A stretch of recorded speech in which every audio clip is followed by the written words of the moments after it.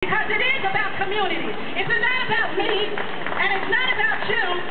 It's about our people and our families and our community. The reason I say that is because I don't stand for nobody else, but I stand for a 10-year-old son called Zion, my son, who I heard, who God gave me the life, gave me the privilege to give life to. And nobody has the right to take my son's life away to be able to walk free today.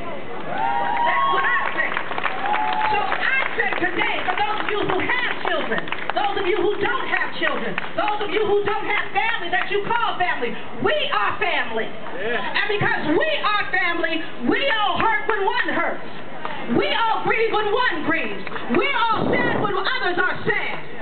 So though today the sun is shining on today, there is darkness somewhere. And it's a couple blocks from here called the Justice Center. Can I get an amen, somebody? There's injustice in the White House. There's injustice in somebody's house. In somebody's house.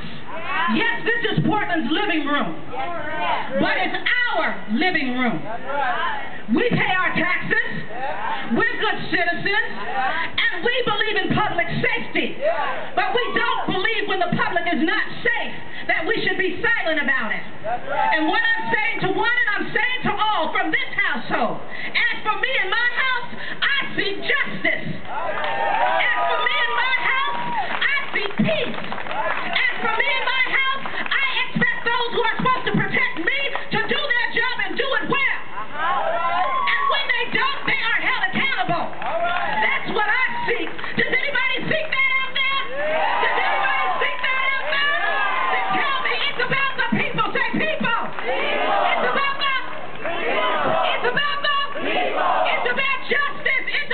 It's about people. It's about justice. It's about families. It's about community.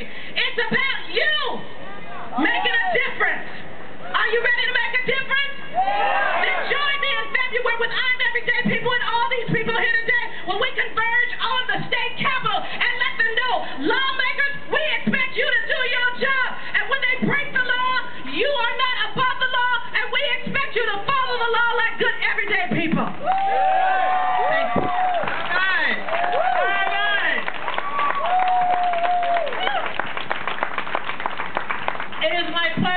to do